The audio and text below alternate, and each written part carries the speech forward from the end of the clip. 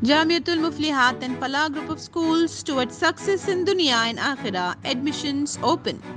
Congress party leader Rahul Gandhi ने दोनों सीटों केरला के वायनाड उत्तर प्रदेश के रायबरेली से कामयाबी हासिल की है वो केरला के वायनाड से दूसरी बार जीते हैं जहाँ उन्होंने सीपीआई उम्मीदवार यानी राजा को साढ़े तीन लाख वोटों से शिकस्त दी है, जबकि उत्तर प्रदेश के रायबरेली में राहुल गांधी ने तीन लाख सत्तर हज़ार वोटों की अक्सरियत से कामयाबी हासिल की। लड़ाई संविधान को बचाने की थी, कॉन्स्टिट्यूशन को बचाने की थी। और मैं आपको सच बताऊँ तो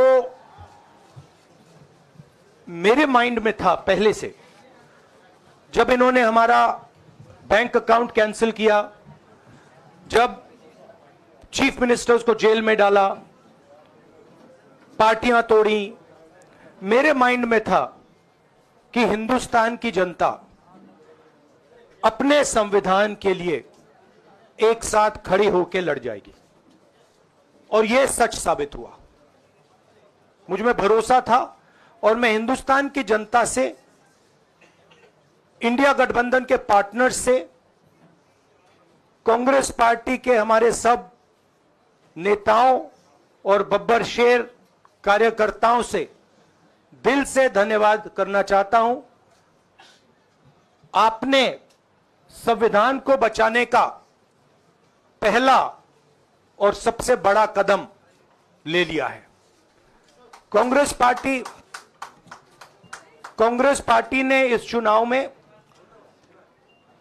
कांग्रेस पार्टी के सब नेताओं ने दो तीन चीज़ें की।